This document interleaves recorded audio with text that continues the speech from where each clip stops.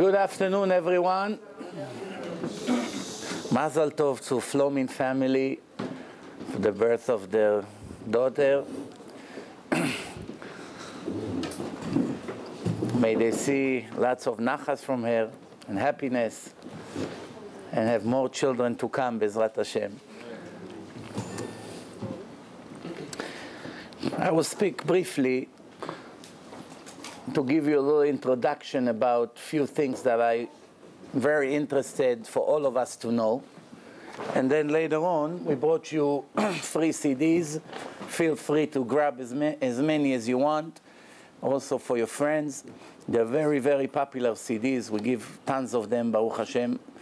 And they were translated to many languages, and they go all over the world. And the website is booming. That means they're good. If they wouldn't, if they wouldn't be good, they wouldn't be so successful. So give it a chance. Listen to it in a car. Some of them are DVDs. It will, it will educate you a lot. The topic I chose, I asked uh, Israel, Stanley, Israel in Hebrew, I asked him what kind of audience we're going to have. So he told me we're going to have a mixed, mixed audience. Some are religious more, some less. Some have uh, questions. So I decided to speak in a little, uh, in a mix, in a mix of beginners and some more advanced. But the main purpose of this talk is for those who have a doubt and have questions that are very, very important in life, that they will go into the CDs and would listen to it and watch it, and they will get the answers to all their questions. Today, as we all know, the Jewish nation is divided to two groups observant and not. People who observe mitzvot and people who does not. Of course, you can take each group and divide it to many different groups. Some are more, some are less, some are nothing at all, some are very high. There's many, many different groups. I'm not here to rate people. I'm just here to talk to the group that is not observant for only one thing, for only one thing to bring it to their attention.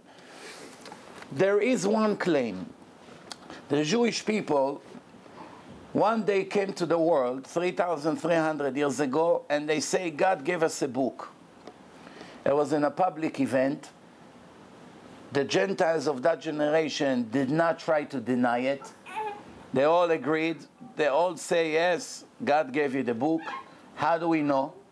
Because when we review Christianity and Islam, we see that they, in their books, testify that the Jewish people received the Torah from the creator of the world in a public event. None of them, none of them, no matter how much anti-Semitism they had among them, they still did not try to rewrite history. Remember, Christianity 1300 years after Judaism started. So for 1300 years, the Jews were spreading the Torah.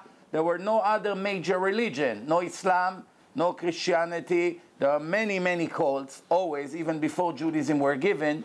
But no one ever tried to deny that the Jews received the Torah from God.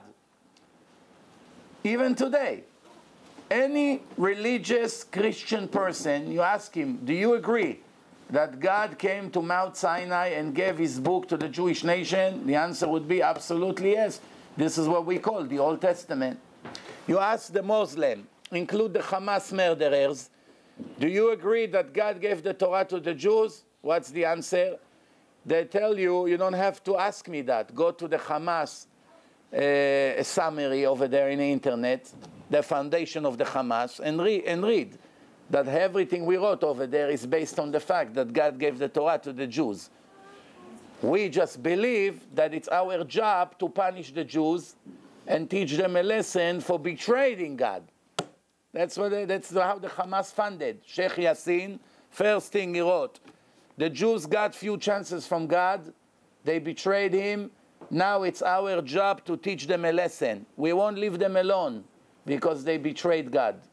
And you can see today the results of what he wrote. That was many, many years ago when they started the Hamas. Today we see that they meant every word that they, that they said. But I'm not here to talk about war and I'm not here to talk about politics. I'm only here to clarify one point. The Jews came and they said to the world, God gave us this Torah in a public event.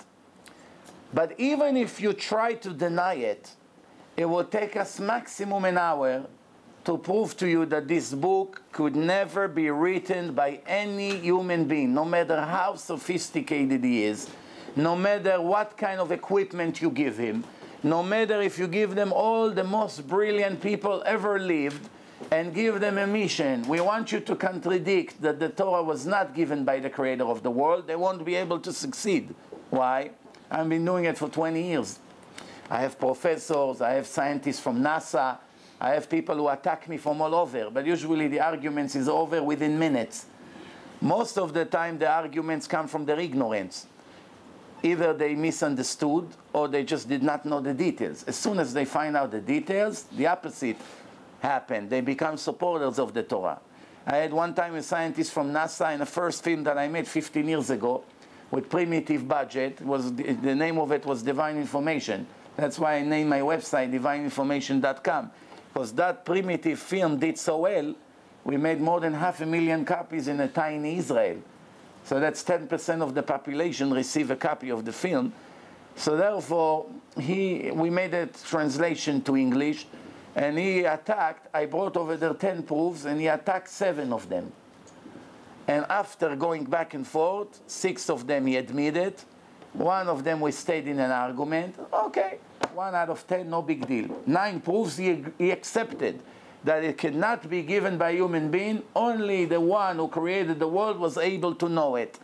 So 90% achievement for such an intellectual person, a big scientist from NASA, that just to show you how powerful is the material is. I'm not here to discuss how do you know there is a God? How do you know that He supervises everything we do? Because it's all written in a book. All I have to do is to prove that the book could not be written by a regular human being. If I prove that the book was written by the same one who created the book, the world, therefore from that moment on, there's no point of arguing anymore. Why? All we have to do is to read what the book says.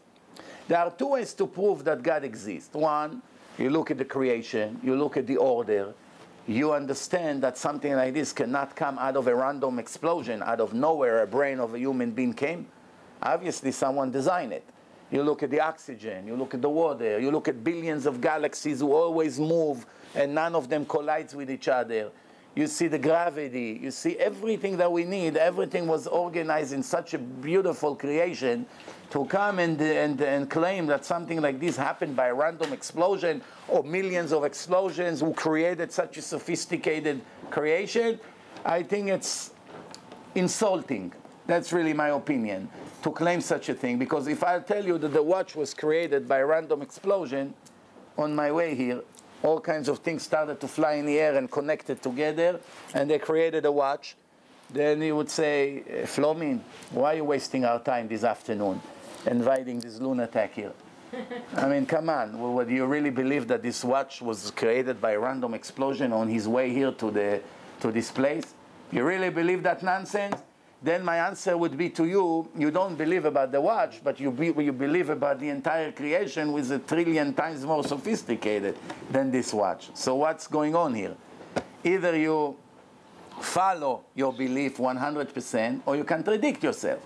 So my answer to you is that's a separate argument. If you watch my film Torah and Science, I go to all the steps, how we know God created the world, what's the purpose of the creation, and that. But I'm only here to specify one point. How do you know if a book is divine or not? That's really the main question here today. The answer is once you review the book, you don't have to finish it. If you read the first page, if you find human error in the first page, that moment this book is finished. You don't waste another minute on it. If you have extra time to waste, it's your, it's your choice. But as soon as you find a human error in a book, then you know one million percent. You don't need two uh, human errors. One, it's enough. You know that this book was not given by God. And if it was, it was altered by people, therefore we can never rely on it. If it was given by God, the people who copy it or the people who transfer it, interfere with the text of the book. Why? Because we find human errors. The original book of God cannot have any human errors. God cannot write in a book the Twin Towers collapse in Brooklyn. Because if it says it in a book, then we won't waste another minute on that book because we cannot rely on a book if it doesn't know such an event where it took place or all kinds of other events in history and he gave us the false information about those events, then we cannot rely on a book. However, if we review the entire book and we don't find one mistake, now we know that there is a chance that the book is divine. But let me give you two examples. On the New Testament, almost in every chapter, you find many, many human errors. It says that the cave of Abraham, Isaac, and Jacob is in the city of Shechem. And everyone knows in the city of Hebron. It cannot be that God doesn't know where Abraham, Isaac, and Jacob are buried. In Act 7 in the New Testament, it says Nablus, Shechem. Big human error. It says that Jacob went to Egypt with 75 people. But in the Torah it says 70. What happened to God? He doesn't remember what he wrote in part 1. Now in part 2 he became 75. Can we rely on such a book? There are many, many other examples. For instance, in the book of Matthew and on the book of Luke, they describe the genealogy of JC. They try to link him to King David because in the Torah it's saying Messiah, son of David. There's only one problem. In a book of Matthew, it describes 42 generations. In the book of Luke, 27 generations. What happened? God doesn't remember who gave birth to who. Completely different genealogy, more than 15 mistakes, different names, complete different names, different orders. It cannot be that both genealogy is correct. When we read in the Torah that Abraham gave birth to Isaac, and Isaac to Jacob, and Jacob to Levi, so we have a right order over here. If we read in another book that Levi gave birth to Abraham, and Abraham gave birth to John, and John gave birth to uh, uh, Luke, then how can we rely on such a book? It describes two different genealogy for the same human being. Obviously, it's not only human errors, it's human errors in a very, very low level. Some human errors is very hard to detect.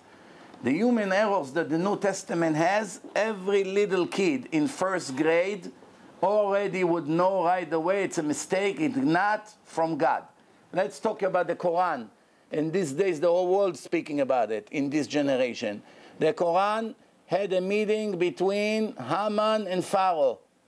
Haman and Pharaoh had a meeting how to stop the God of the Jews. Why? The writer of the Quran agreed that the Torah described Haman as a wicked person and Pharaoh as a wicked king.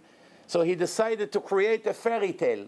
What was the fairy tale? That both of them had a meeting and they want to go up to build a tower to go and fight against the God of the Jews.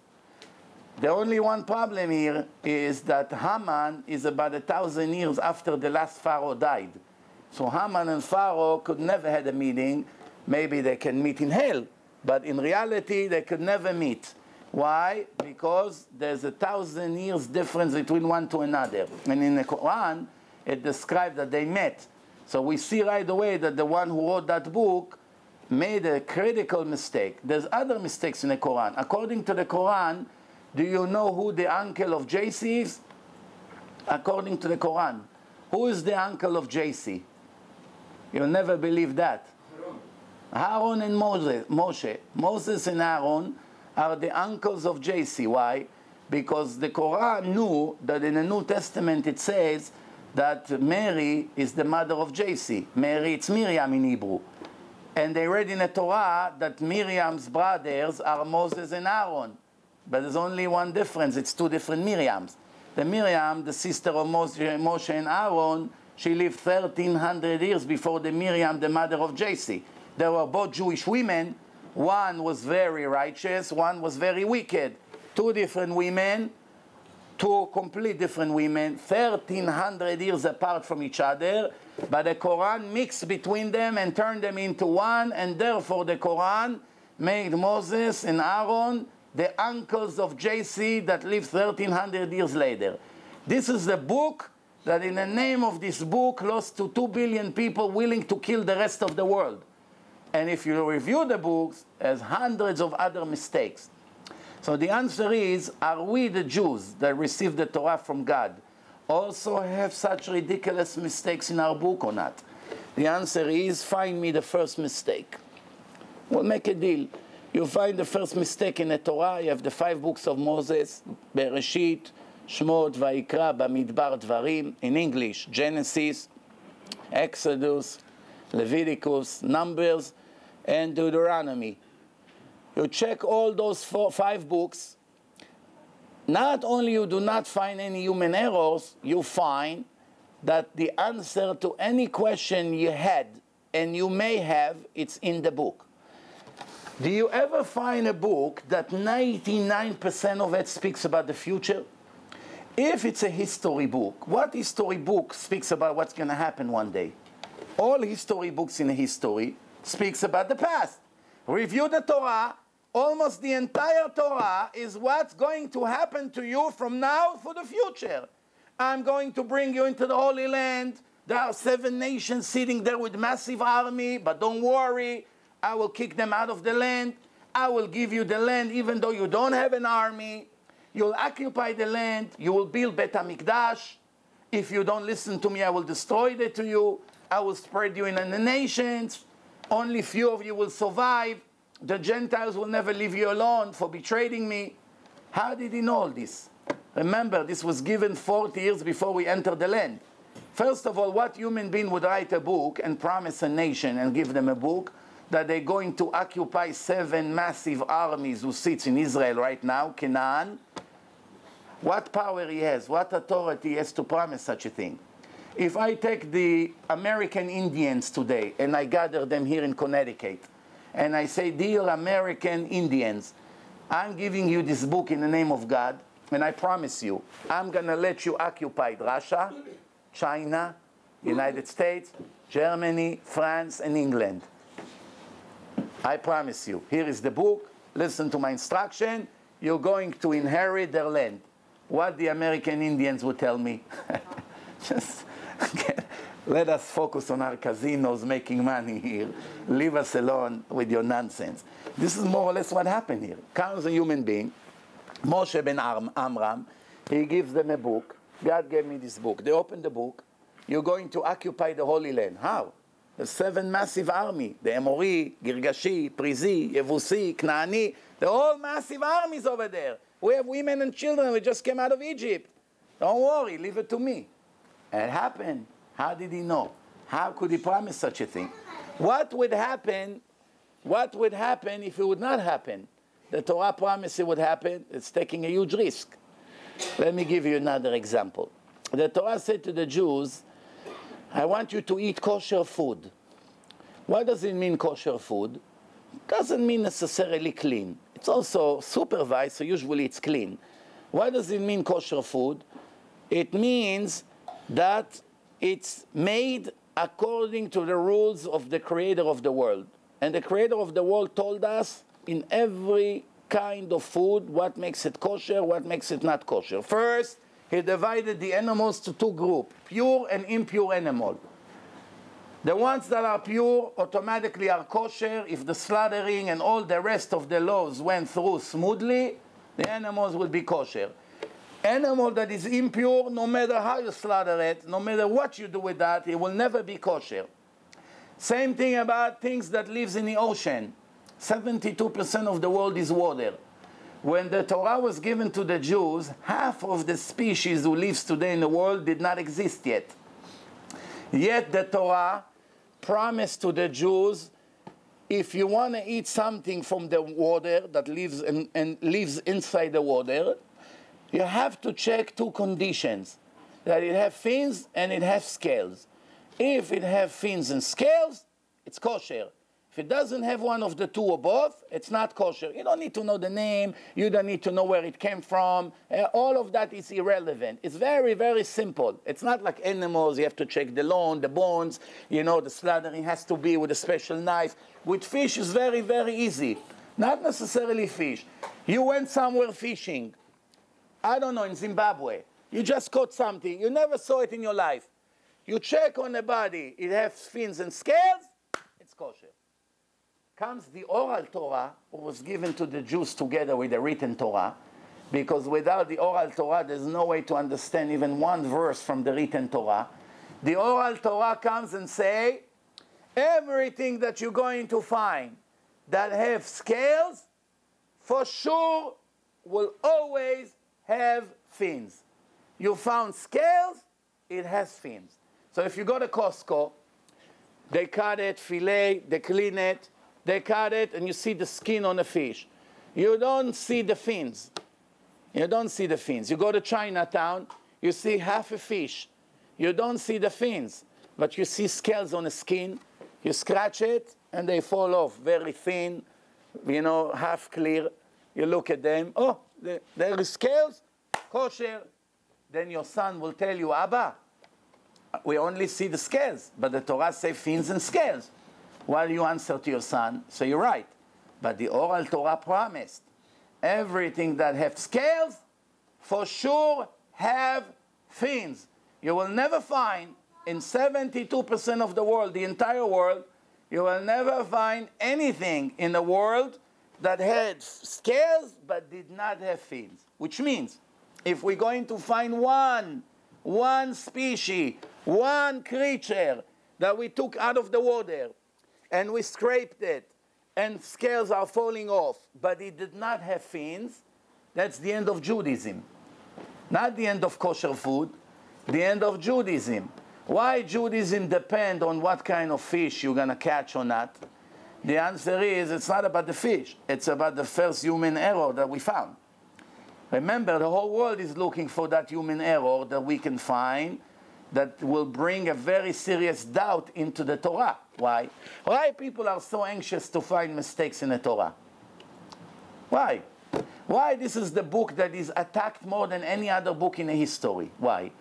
Because that's how people try to relax their conscience.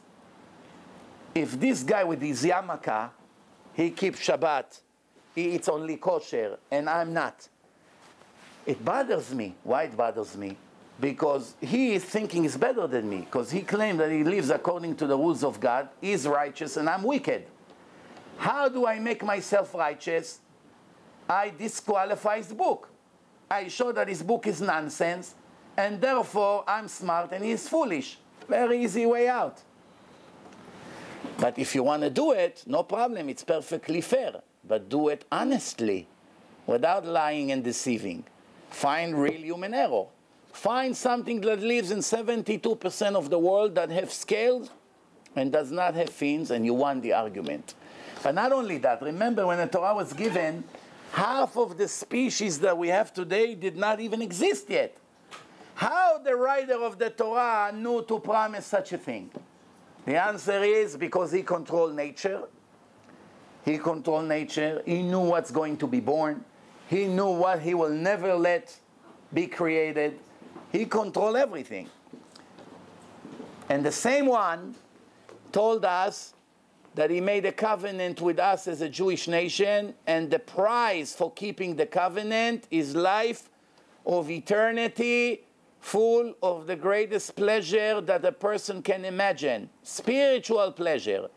Physical pleasure, it's only temporary and it's gone. Up, one, two, three, and it's over. One hour, five hours, one day, two days.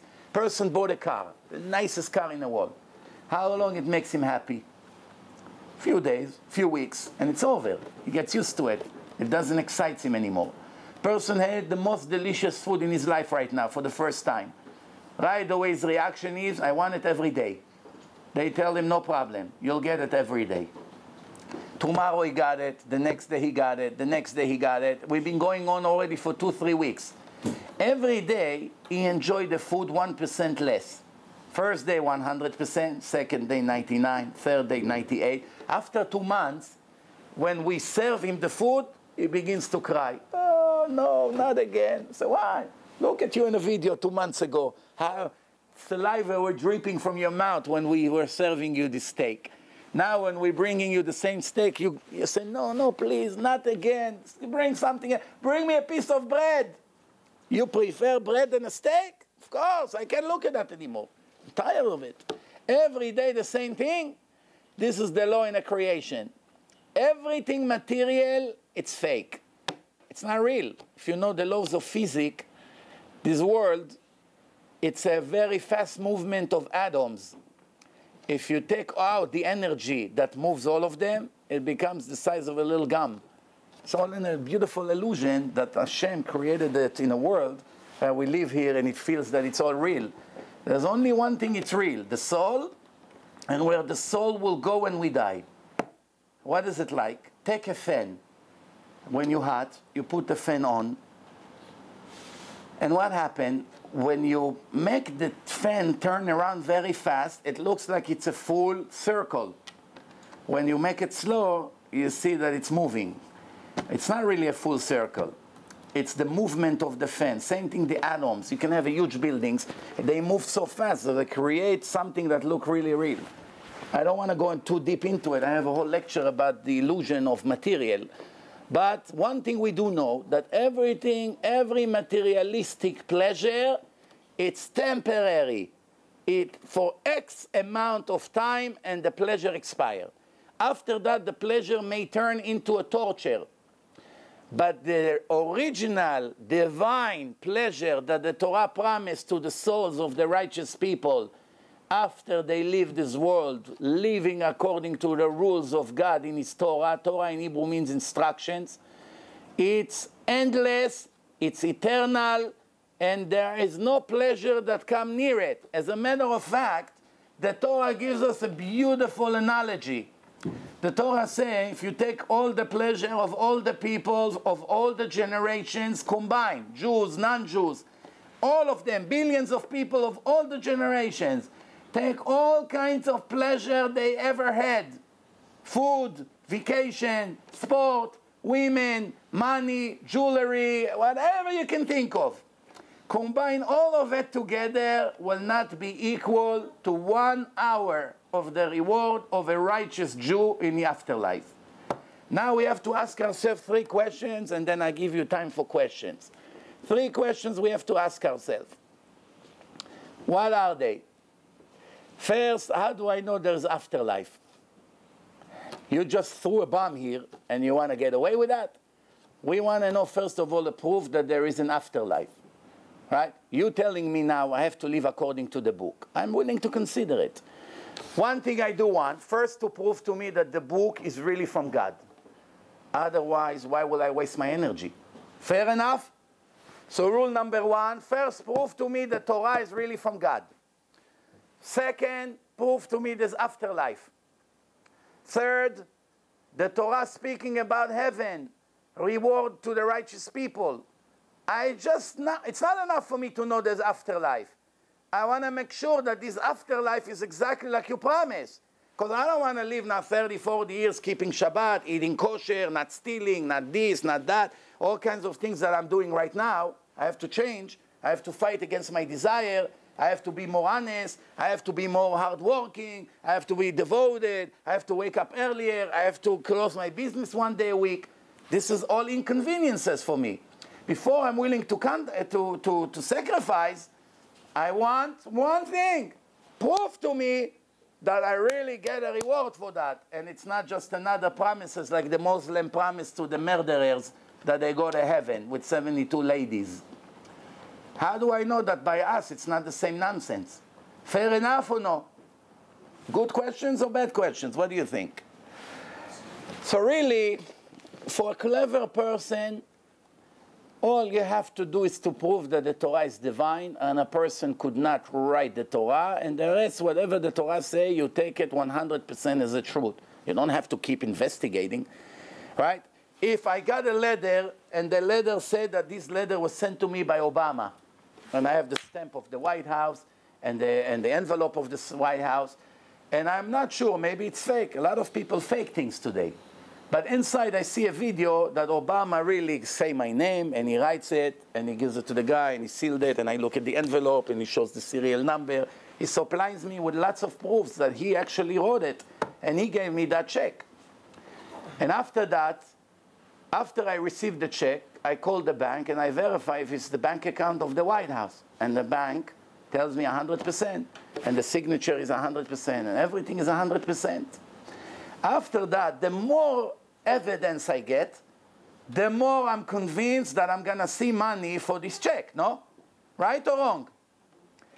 The same thing with the Torah. If you see that the Torah knew everything about the future, if you see the Torah have codes hidden in the text, mathematical hidden skips, who describe events that will be in history a thousand or two thousand years later, a person was unable to do such a thing.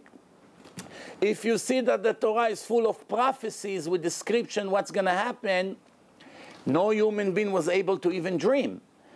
If you knew, if you see the Torah had knowledge about nature, as I'm showing in my film Torah and Science, endless knowledge, not only about our planet, about all the galaxies, about the moon, about the sun. I give you one example. Looking at the sun today, we walk on the street in a sunny day. When we look at the sun, what do we see? What do we see? We see one circle, yellow, orange, depend. That's it. We see like a light, a light bulb. That's it. We see a circle that sends us heat and light. Do we, by looking at, by looking at the sun, do we see that the sun has a shell? That it's covered with a shell? We, from here to, to look at the sun, do we see a shell? Today, the scientists prove to us, beyond any doubt, that the sun is covered with special shell that prevent the radiation to come here and burn us in a second. But what would you say if I show you that King David wrote about it 3,000 years ago? The sun has a cover, and the Gemara, which is the oral Torah, say that one day God will take the sun out of the shell. What's the purpose of that? It's not the time to get into it right now. But two things that the Torah say 3,000 years ago. What is it? That the sun has a shell. How does a person 3,000 years ago was able to know the sun is covered with a shell? When we look at the sun, we don't see any shell. There's no satellite. There's no NASA. We don't even have the telescopes of today. We didn't have the measurements that we can take today with computers and mega computers. We didn't have all the tools. How did the Torah know that the sun has a shell? Imagine today they prove that the sun doesn't have a shell. We would look like complete fools. This is a huge risk to write in the Torah that the sun has a shell when later people would discover that it doesn't. But the Torah knew about it. The Torah knew the, the number of the stars in universe. 400 years ago, before Galileo Galilei developed his telescope, any person in the world that you ask him how many stars the world has, they will tell you maximum 8,000 stars. Why? People reported that they stood on mountains and counted them manually, and the maximum number they ever came to up to is 8,000. Some say 6,000, 7,000, 8,000. Everyone agree no, not more than that. And at the same time, you open the Jewish book, and what does it say over there? That the, that the Torah said, that God said, I created 12 sections in universe. And in each section, I created 30 armies. And in each army, I created 30 legion. And in each legion, I created 30 raton. And in each raton I created 30 karaton. And in each karaton I created 30 gisteras. And in each gisteras I hung 365,000 multiplied by 10,000 stars. And all of that I created for you. Who is for you? The nation of Israel. And you have the nerve to complain to me that I left you and neglected you?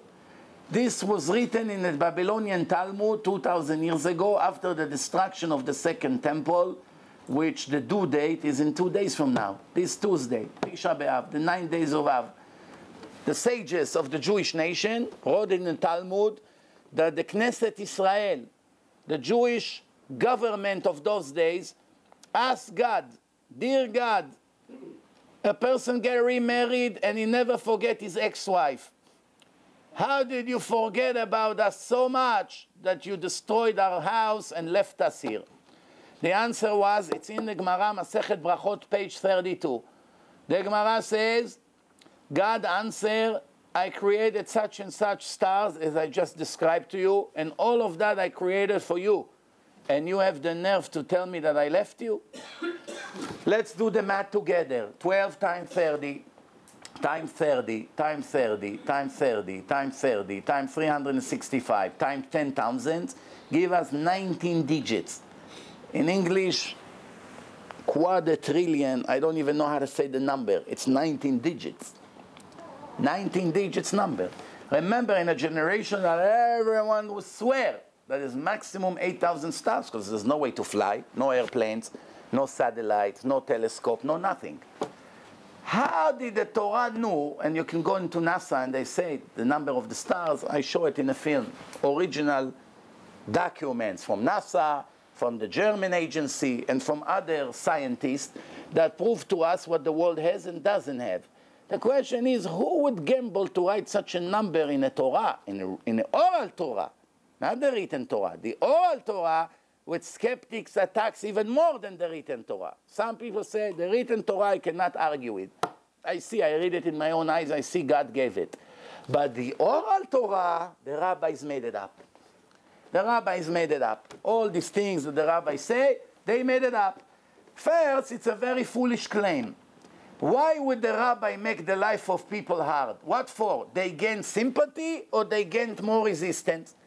If the Torah was very easy to keep, and the rabbis decided to make it a thousand times harder, what did they gain by that? First of all, the Torah, the written Torah say, be very careful not to modify by my Torah by one letter.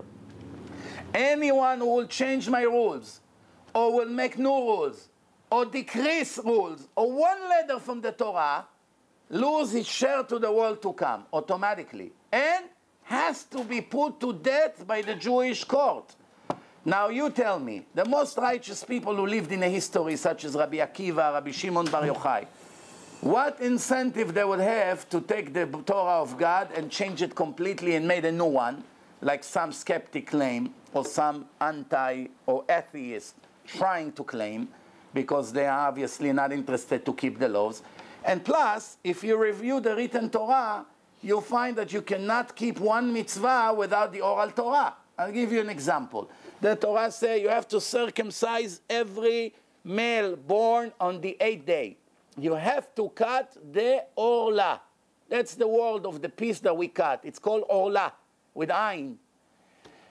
Without the oral Torah, nobody in history would know how to perform circumcision. Why? Nobody would know where to cut. This word is a new word. It's a new thing, orla. Where is it? Some say here, some say the nails, some say it doesn't mean in the body, it's symbolic. Everyone would claim you have to cut in a different place. What happens if the baby is sick? The written Torah doesn't say if you're allowed to circumcise or not. When, does, when do you have to do it? During the day, during the night? The Torah did not say. Who is kosher to perform such a ceremony? Male, female, Jew, non-Jew, doctor? What happened if you forgot on the eighth day or you were forced not to do it? Can you do it later or it's too late? What's the punishment of someone who doesn't do it? Or what's the reward? None of it appears in the written Torah. There's hundreds of laws about what tool you use. How do you do it? What do you do with that after you cut? All these laws, none of them appear in a written law. Is it possible that God gave us such an important mitzvah that it's a covenant between us and Him and won't explain to us how to do it?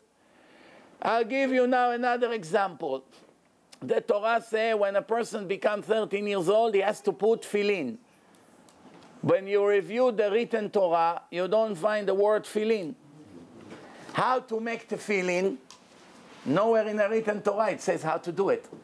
There's more than a thousand instructions how to create tefillin from the time he used to be a cow until he became tefillin. Thousand steps. If one of them were done incorrectly, the entire tefillin is worthless. It's not kosher, you have to bury it in the ground. You're not allowed to use it. It's a sin to use it. Not only it doesn't help, it becomes a sin to use it. If 1,000 step, one of them you messed up, that tefillin is not kosher and become a sin. Where these thousand steps appear in a written Torah, not even one of them is in. The Torah only say you have to put a sign on your hand. Which hand, it doesn't say. Left or right. What part of the hand, it doesn't say. What to put, it doesn't say. What to write inside, it doesn't say. How to make the shape of it, it doesn't say. One side shin with three, one side shin with four, it doesn't say. What color, it doesn't say. From what animal, it doesn't say. Who is entitled to make it? A Jew, a goy, a, a female, male, doesn't say. How to make, nothing. And the Torah say, someone who does not put it every day is a huge criminal against God. Do you understand what's happening here? God will tell us such a law and will give us such a punishment if we don't keep it, but He won't tell us how to make it. Even I wouldn't do such a bad job. and I never claim I'm God. So, how, what's going on here? Whatever I told you right now applies to each one of the 613 laws of the Torah. Not one of them, you have instructions how to fulfill the commandments. All the Torah say very brief. The name of the commandments, one or two details sometimes, not always, and that's it. The Torah say, circumcision the same. The Torah say every Jew must observe the Sabbath if he wants to be a Jew. If he doesn't keep Shabbat, he cut himself out of Judaism and is not considered to be a Jew. That's what the Torah say. The Torah does not say how to keep Shabbat. The Torah says that someone who does not keep Shabbat should be executed and have no share to the world to come. He loses eternity, everything. And is not, when he comes in front of God, he doesn't send him where he sent the Jews. He sent him where he sent the non-Jews, different world. And I, wanna, I do not want to go into details. I just want you to get the point. Where does it say in the Torah the 39 restriction of Shabbat? Nowhere. It just say this is the covenant with God. What do we say in the Kiddush?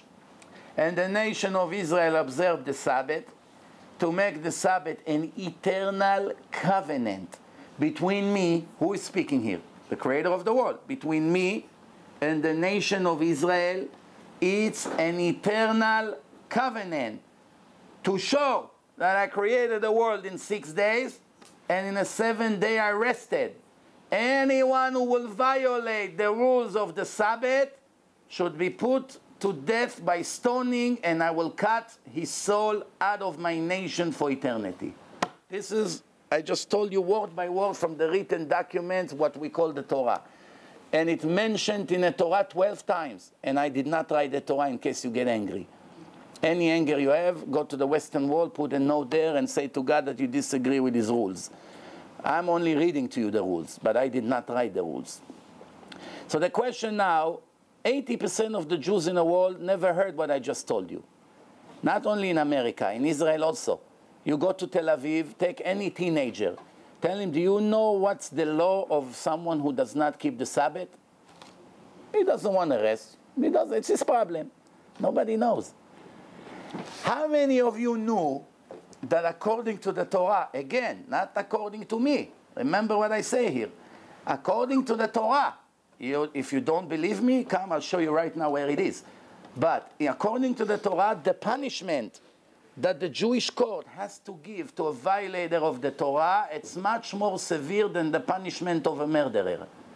That's what the Torah says. What does it teach us about what God think about a Jew that doesn't keep the Sabbath? What does it teach us? That which sin is worse? To, keep, to violate the Sabbath or to murder? Which one according to God, not according to our belief or what we got used to. According to the truth of the creator of the world. If we say that a non-observant of the Sabbath has to get a severe, more severe punishment than someone who murdered other person, what does it teach us about the violation of Shabbat? And it's a very serious violation. It's not a joke. Some violations have a small punishment. For instance, you stole $100 according to the Torah, you don't go to jail. The police caught you. If we live according to the Torah today, you stole from your pants wallet $100. If the police catch you today, they take you to arrest 48 hours until you see a judge, and then the judge send you to prison for a few months. or to do service in a hospital because it's the first time. What does the Torah say? Pay 200 right away and you dismiss. You stole 100, the judge say pay 200 and goodbye. Don't waste our time. Next time, don't do it. You stole a thousand, you pay 2,000 and you're out. You stole a million, you pay 2 million and you're out. What happens if you don't pay? They take you, they sell you, you become a, a slave, you work until you pay back what you owe people. The Torah didn't give you a price for being a thief, like society does today. You know, just because you have a white collar and that. The Torah says you stole, you're going to pay double. That's it.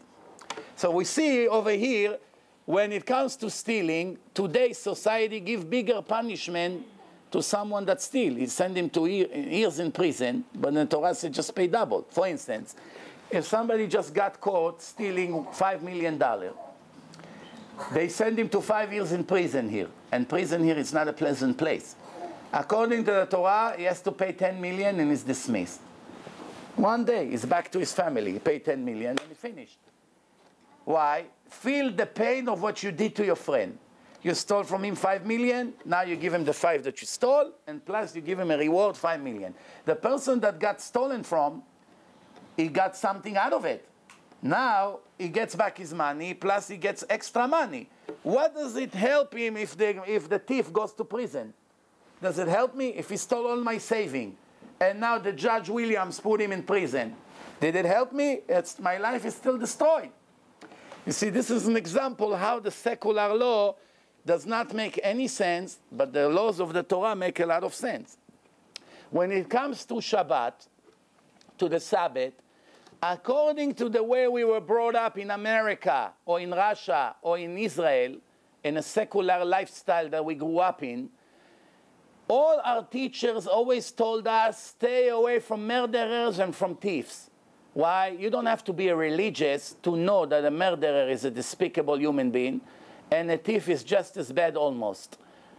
But nobody, nobody ever say stay away from someone who's mechalel Shabbat. Why? The teacher who taught you is himself Mechalel Shabbat. What, he's going to speak against himself? Nobody ever told in Israel to be a violator of the Sabbath is the biggest crime against God. Why? They didn't want Israel to become an observant of Sabbath. So they hid that. Same thing in Russia, the communists did not let. Same thing in the United States. Most Jews go to public school, they never heard about Shabbat. I meet Jews in places here, they never heard in their life what needs to be done, nothing go and explain to them that what they do every Shabbat, every, every week, it's worse than killing people. They're never going to believe you. Why? Because 30 years people brainwash them that nothing is wrong with driving the car on Shabbat. Nothing is wrong with smoking on Shabbat. Nothing is wrong with riding and doing all kinds of things that most Jews do. Most Jews, when you tell them that, they look at you like you're out of this world. You're crazy. You're completely crazy. Some of them get even very angry and, and offended. But if we are honest, you have to stick to the text. You don't believe in the Torah, come argue with me. Watch my Torah and science, after that you will never make a bit. However, until you check, you have to take it as the truth. What logic you have to gamble on your eternity for driving a car on a seven day? Do you understand the price you're going to pay? You have to think about it. What happened if this rabbi was right? Let's assume right now we don't know. Maybe I'm a liar, maybe I'm making it up. You have the right to think whatever you want. It's fair, fair game. But until you check and verify what I said, how would you dare to light another cigarette on Shabbat? Because if I'm right, you are lost for eternity. We're not talking about a little Holocaust here, that the body died and the soul goes to heaven. That's a much worse outcome here a Jew would lose his connection to God for eternity for violating the Sabbath. We're not, ah, okay, so I lost a million dollars. Big deal, I still have 10. We're not talking about this. We are talking, if I'm wrong, no problem. You can go back to do whatever you want.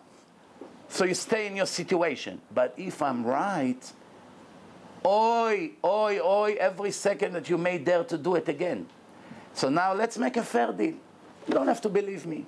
Here is the CDs, take the Torah and science, but pay attention to it, not just put it and play with your phone. Sit for a few hours in your life and check the details.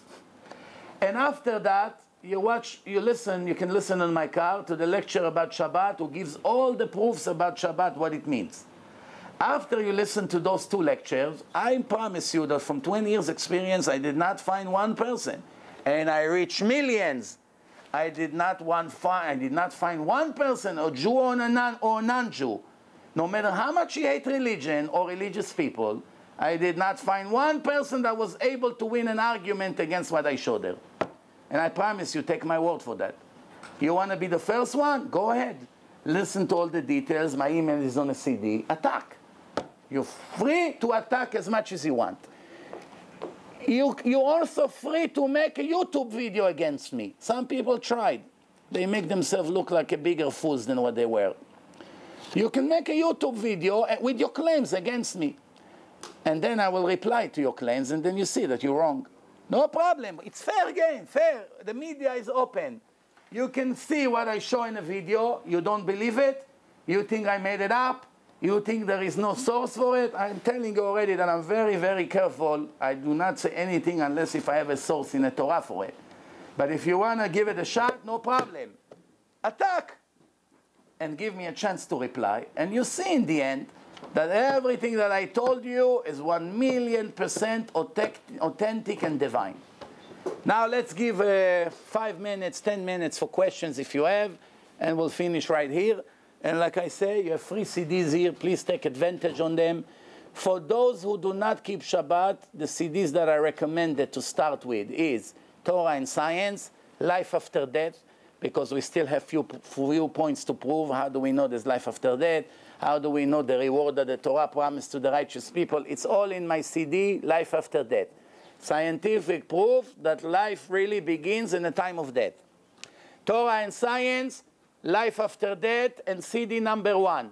CD number one, it's for the car.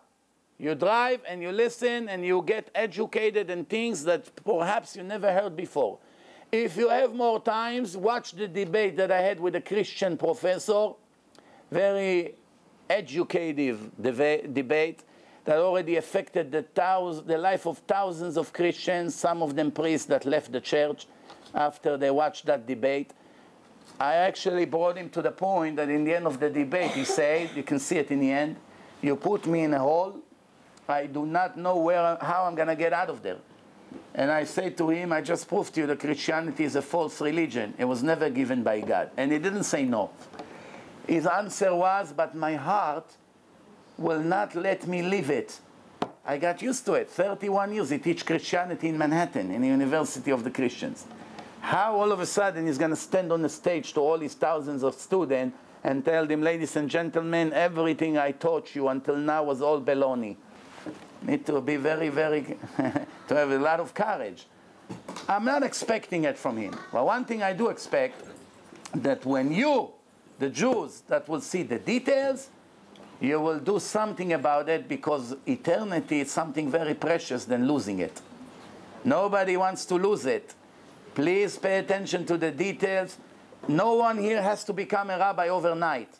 That's not the demand here but to start making changes, kosher food. It's very easy. Every other store is kosher today. Brooklyn, Queens, Manhattan, New Jersey, almost everywhere you have. Almost every other product in a supermarket, or you, or Star K, a lot of ashgachot. Almost everything is kosher. Today, to, to eat kosher food became very, very easy. It used to be very difficult 30, 40 years ago. Baruch Hashem, today almost everywhere you go, Mexico, Europe, you already see ashgachot in almost every product. So that's one thing. Second, keeping Shabbat is not as hard as you think. You gather the family together, you make a meal. If you have shul nearby, you walk to the shul. If you don't have, you don't go to shul at all. You don't drive to the shul. Not allowed to drive on Shabbat. You begin to learn the laws of beginners for Shabbat.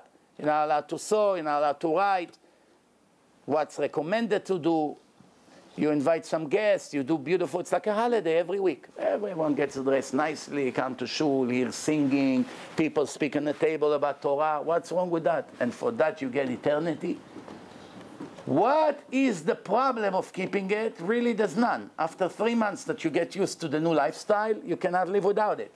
You don't believe me? I can show you thousands of emails that I got over the years of people that say now, after I keep, I understand when, you, when I started, I couldn't believe I can do it. Now when I keep Shabbat already for a few months, all week I'm waiting for it. When is Friday already? Coming, changing my clothes, going to shul, meet all my friends. Beautiful, fantastic. But until we get to there, let's go one step at a time.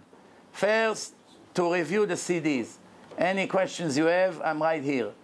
And after that, Bezrat Hashem, slowly, slowly to become stronger and stronger. I have many, many thousands of people like you that used to be complete atheists, complete non-observant, and Baruch Hashem today they keep everything. I'm not asking you to change, to start growing beards, or to dress black and white, or to look Hasidish. That's not the point here. All these things, it's uh, one day if you want to do it, you can do it.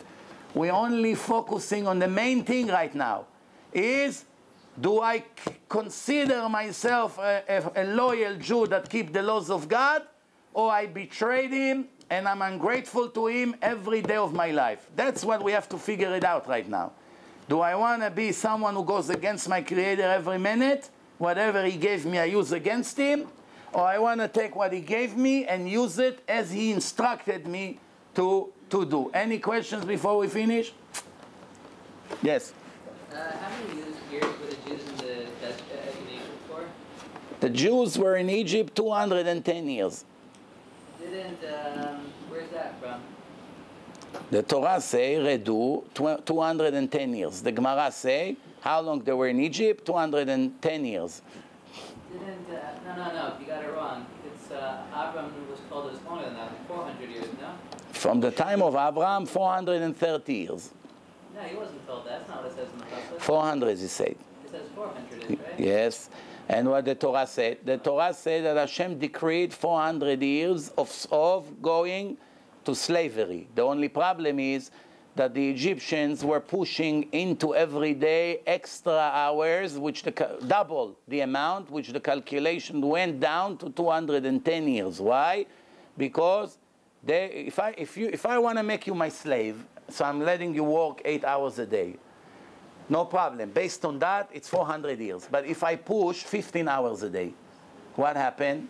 You're not going to work double. The decree is for X amount of hours. If they push too much, Hashem made it shorter. Plus, one more thing you should know, there's a rule in the Torah. Every bad prophecy does not have to happen. Good prophecies must happen no matter what happened. If God promised something to the Jews, and all Jews, God forbid, became wicked after the promise, the promise will still take place.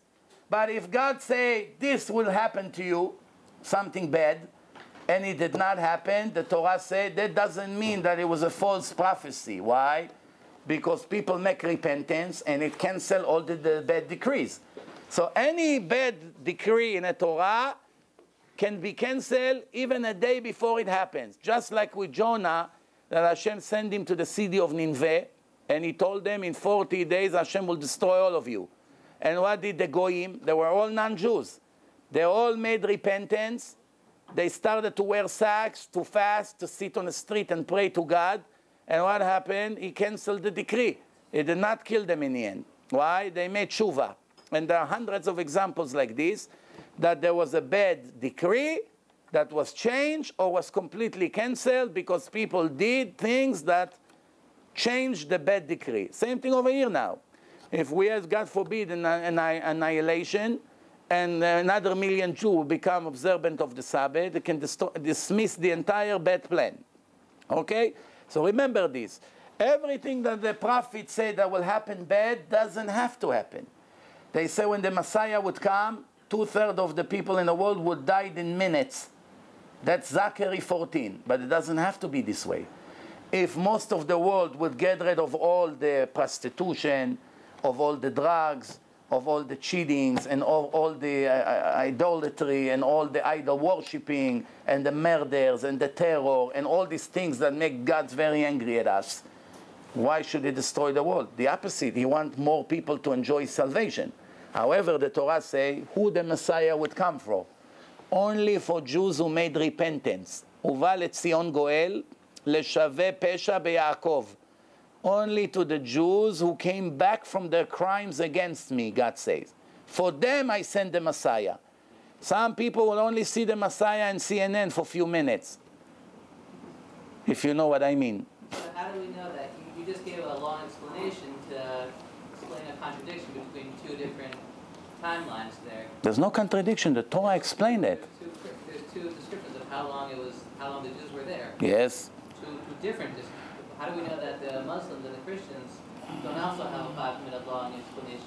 No, I just gave you I gave you mistakes that they have in their texts about reality of things that happened in the past.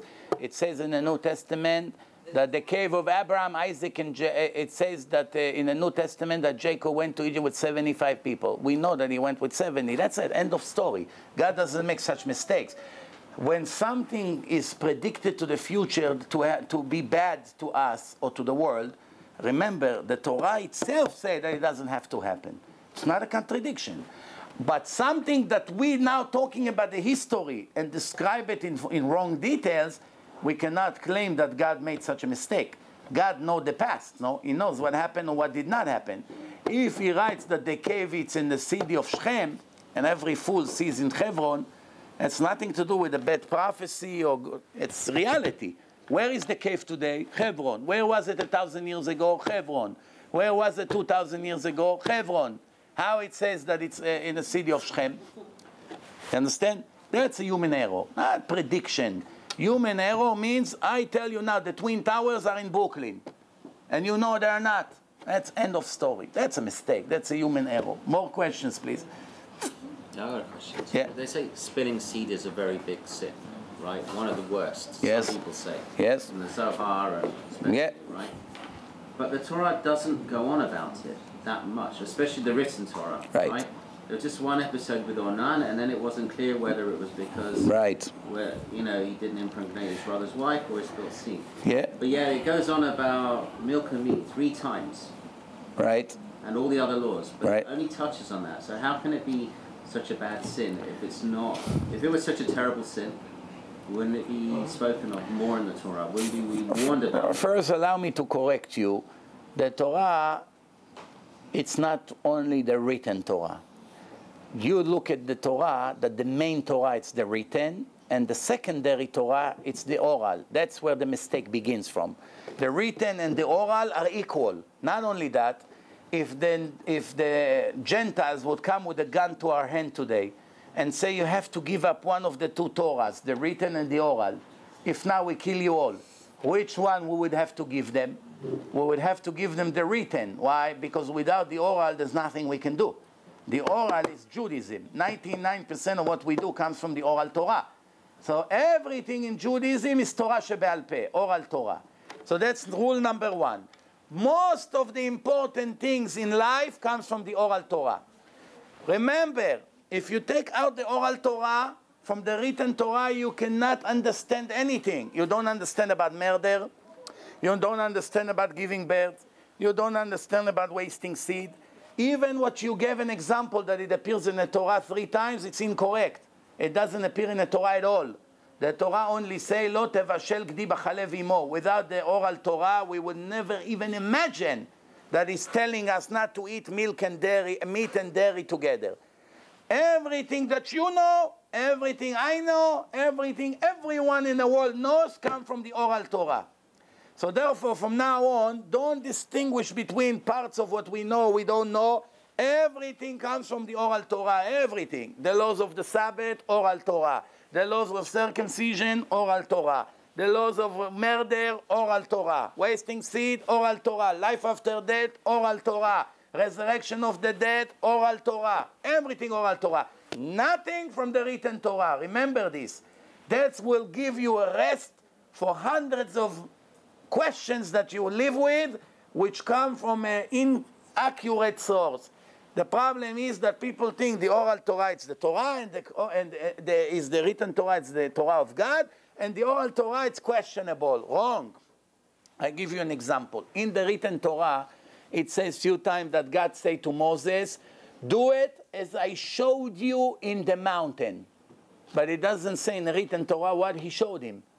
It's not important to write it in a written Torah. You have to build a menorah for the holy temple, the important gold menorah. He doesn't say how to make it. He says, do it as I showed you in the mountain. Or in the circumcises, few times he say, do it as I showed you. Why can't you write another three, four verses in the Torah that everyone would know what you showed him? Why? It doesn't matter. Anyway, he comes and teach the nation, and they teach the children, and they teach the children. You don't need to write it. Now comes to the final question, and maybe we'll finish with that. Why God did not write the oral Torah also in a book? Why he gave a written book, which is 1% of Judaism, and 99% of them went verbally from generation to generation. Doesn't make sense, no? Write everything, nobody would argue, everything is black and white, end of story. The answer is, not only it's not foolish, it's the most brilliant thing that happened in this creation. Why? A very solid rule in a written Torah is that there is a major difference between Jews to non-Jews. Until the Jews received the Torah, all people were equal. Once the Jews received the Torah, God wrote in His Torah, and the Christians that not, does not deny it, neither the Muslim, I'm choosing you to be my children from all the nation. From this moment on, I'm giving you my Torah. You became the chosen people. You have to be holy because I'm holy. You cannot eat from their food. You cannot dress like them. You cannot use their names. You're not allowed to marry any other nation. Even the worst Jew cannot marry the best Gentile in the world. The Gentile is righteous and has a share to the world to come according to his level. And the worst Jew who has no share to the world to come because he violates any possible laws, but the wicked Jew is still not allowed to marry the righteous Gentile. It's nothing to do with racism, nothing to do with discrimination, anything whatsoever. What? I isolate you from the rest of the world. Am levadad ishkon. You are isolated, no one would like you, everyone would go against you, everyone would be jealous with you, and everyone would kill you. But you're going to have a happy end. You have nothing to complain about. I made you the VIP, my children. Banim atem laHashem Elokeichem. No other nation in the history got this title, children of God. Only the Jewish people. It's in the, what the Christian believe, the Old Testament. And many Christians told me personally, hundreds, bottom line, you are the chosen people. Bottom line, they're not denying it. You have to know one thing. The reason God did not write all the rules in a book because after two, three generations, no one in the world would be able to tell who is a real Jew and who is a fake Jew. Why? If everything is written in a book and the Torah was translated to 70 languages right away, then imagine one Arab somewhere in a, in a desert that heard that the Jews received the book from the creator of the world. He wants also to be one of the nations of God. Many Egyptians came out of Egypt and Moshe converted them because they saw what happened in Egypt. So this Ahmed, he takes now the Torah uh, translated to Arabic. He sees in the Torah how to keep the Sabbath, how to make tefillin, how to circumcise, how to dress, have, how to write a Sefer Torah, how to write a mezuzah, how to slaughter the animals, how to everything he has in a book. He doesn't need the rabbis. He doesn't need to convert. He show up one day. Remember, there was no internet that you can check on people on Google. It was a very old, primitive generation. The Jews live in Israel. One person walk in. Hi, what's your name? David. Yosef. Not Yusuf. Yosef. Oh, where are you from? Uh, I was left over in this country. How are you going to know if he's a Jew or not? He has tefillin. He knows how to pray. He circumcised all these babies according to the law. All his riding, mezuzot, everything is kosher. Everything is fine. Speaks Hebrew, everything. How would you know? There's no way to tell who's a Jew and who's not. Even today in the world, you see 100 people. You know which one is a Jew, which one is not. There's no way to know. People with the last name Cohen, they are 100% Goyim, non-Jews. People with the name Smith or Christine or all kinds of things, 100% Jews. I met one time in business a person named Chris Cohen. His mother was Jewish, his father was a Christian. They call, they, they, uh, the opposite. The mother, the, the mother was, uh, uh, no, actually, both parents were Jewish. I asked him, what kind of name is this Chris? I don't know, my parents decided to call me this name. I said, but your father is Cohen, your mother is Jewish? You sure? Yeah, 100%, 25 years ago. What? His name is Chris. Some people, their last name is Stern, they're 100% goyim because the mother is not Jewish. The, the, last name doesn't mean, you can, the last name can be Cohen or Levy and you're not, not Jewish. The last name can be Williams and you're 100% Jewish. So therefore, there's no way to know who is a Jew and who is not. The only way the Jews can protect themselves if the laws, the divine laws of God, goes from rabbi to student, from father to son, verbally. That now when Ahmed come and try to pretend that he's a Jew, he won't know how to make tefillin, because it's not written anywhere. He won't know how to perform circumcision because it's not written anywhere. He won't know how to slaughter the animal. He won't know the sacrifice of Passover. He won't know how to make matzot with all the laws. Why? Because it's nowhere. Only the Jews kept it. I'll give you one last example. You know, when we make tefillin today, there's few families in Israel that have the secret. They don't teach anybody from the outside. If I want to now go and make tefillin, I go to one of them, I want to work for you, teach me how to make tefillin. They don't agree. They only teach their own people. So I don't know, X amount, I don't know how many family, 10, 20, 50, whatever, it's not relevant. They only teach their own people to have this secret. They don't teach to others. Why? Now, if I even want to make, I don't know how to make. Well, just by me reading it in a, in a Shulchan Aruch, I need experience. It's not enough to read the instruction. If I read in Google how to change brakes to my car, would I do a good job? If I work three months in a garage, yes. Without experience, I won't be able to do it. So you understand, this was a brilliant decision. Plus, if God would write his entire Torah in one written book, the size of it would be all the way from here to Monsey. You will need a semi-trailer every time you want to bring it to a lecture. Why? You know how wide is the Torah? Look at the whole Talmud, look at all the books add everything into one book, it will be the size of your hat. You need five people to carry it. The Torah now, as we carry the Torah, I cannot lift it. On Shabbat, they give you agbaha. You have to pick it up and to go like this to show it. I promise you, sometimes it falls from my hands. Very heavy. Multiply it by a hundred. Who would be able to pick it up? So that was done by the, um, the rabbis. Not by the rabbis. Moshe, Moshe brought it down when he told them, God, you see in the Torah, you have to circumcise a male on the eight days. They right away ask you, what does it mean to circumcise? What does it mean to cut the orla? Moshe said, come, let me demonstrate. He took the baby that was born, eight days, today it's the eighth day. He showed everyone how to do circumcision. He taught the 70 elder rabbis there and they taught the people, and it started to spread. Every question they had, they came to him, he corrected them, until everyone in Israel already, it was a, a way of living. They knew how to circumcise baby. Now he told them, you want to eat animals? There's a way to kill them. You cannot shoot them. You cannot stab them. You have to slaughter them with a sharp knife. You have to put salt. They said, what do you mean? Say, come, let me show you. He showed them how to slaughter, and the rest, they taught the nation. Now you have to write Sefer Torah with a feather, how to make the ink, how to write it, where to put separation. How would they know? He wrote Sefer Torah, he gave to each tribe, and now they have a way where, they, where to copy from. So all the laws, Moshe taught them verbally.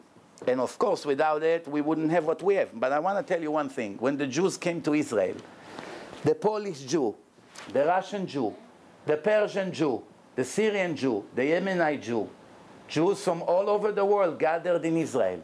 They all have mezuzot in the same right side, same Shema Israel inside, same tefillin. Did you ever see one nationality brought tefillin in a different color, different shape? They all have the same. Same Sefer Torah, same tzitzit, same everything.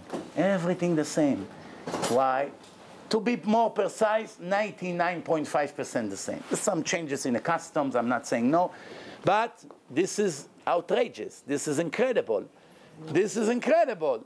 Nobody ran after Christianity to destroy them or Islam. They have thousands of different versions. More than 200,000 New Testament, one different than the other. Hundreds of different Korans. Judaism, one Torah. One mezuzah. One tefillin. One Shabbat.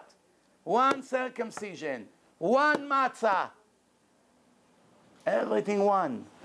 With no internet, with no telephone. The Jews were scattered all over the world. They all gathered to Israel, same Torah, same everything.